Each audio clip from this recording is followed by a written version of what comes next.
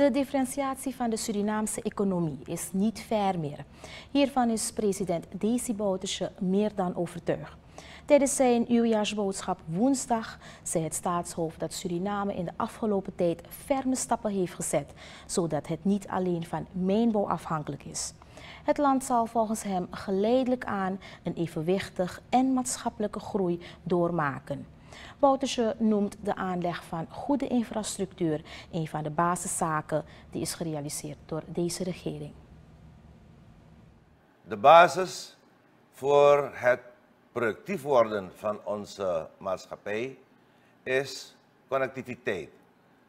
Door accent te leggen op de ontwikkeling van infrastructuur, zoals op het gebied van wegen, bruggen, zeevaart, luchtvaart, als ook op ICT en toegang tot energie, verbinden wij ons met de wereld.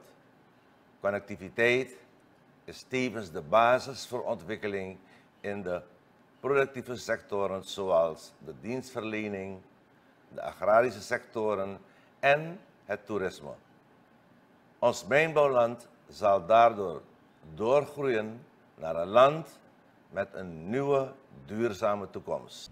Bouterse heeft in zijn toespraak ook stilgestaan bij de economische groei in 2019. Volgens hem zijn de moeilijkste perioden van de economische terugval voorbij.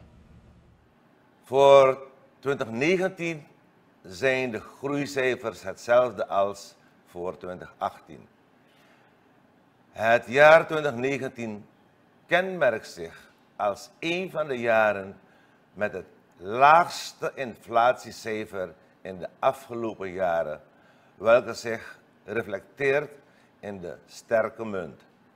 Het is daarom dat de regering steeds zegt dat de zwaarste periode voorbij is en dat wij de opwaartse trend hebben ingezet.